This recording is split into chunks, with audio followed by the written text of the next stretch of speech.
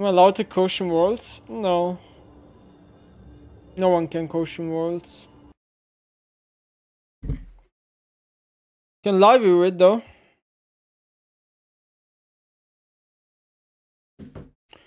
You are allowed to live it.